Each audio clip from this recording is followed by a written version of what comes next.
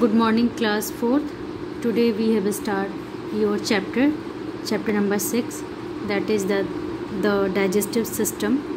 At the last time we have discussed the what is the digestive system. Mouth food pipe stomach large intestine small intestine and the anus. These parts are consist the digestive system. First today we have start your new topic that is it is a teeth. Here i have show you that pictures of a teeth.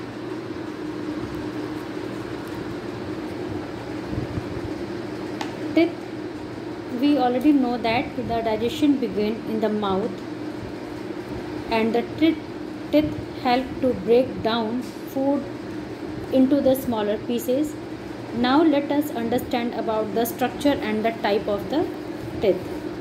When the baby is about 6 month old, the teeth start appearing. Again I have repeated, when the baby is about 6 month old, the teeth start appearing. By the time she is about 3 years old, as she has 20 teeth. And these teeth are called milk teeth. At the age of 6 the milk teeth start falling out and the new teeth appear in their places. There these are called permanent teeth.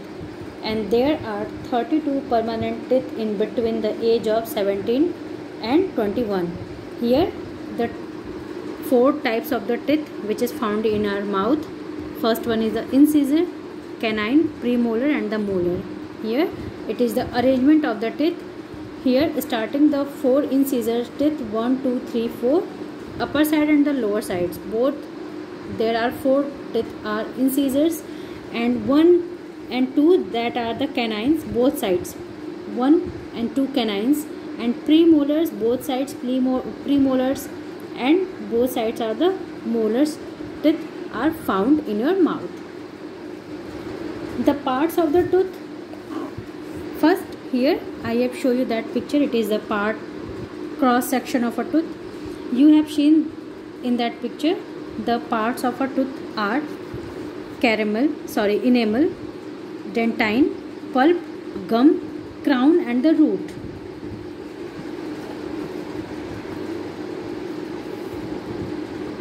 The part of the tooth we can see is called the crown the part we can see not cannot see it is called the root. It holds the tooth firmly in the place. The outer part of the teeth of each tooth is made of a enamel. It is a very hard and the shiny substances and it protect the inside part of the tooth. Enamel is the hardest substance in the human body. And second part one is the dentine Dentine lies under the enamel and it is hard but not as much as the enamel. And dentine protects the innermost part of the tooth called the pulp. It is the soft and contains nerves ending and the blood supply. The nerves ending inside the pulp and send messages to the brain about any sensation the nerves are connected to the gum through a hole in the roots and the gums are the pink in color soft tissues surrounding the teeth. I have shown you that four types of the teeth incisor, canine, premolar and the molar. There are the different types of the permanent teeth in your mouth. Each one has its own function the two front teeth and the teeth on the either side of them are the incisors and they are four on the top and four on the lower jaw. And the incisors are also known as the cutting teeth. As they are shaped like a tiny chisel with flat ends and they are used for the cutting foods and the last the canine the pointed and the sharp teeth on the other either side of the incisor are called the canines. There are four of them, two on the top and two on the bottom. And they help tear food, hence they are also called the tearing teeth.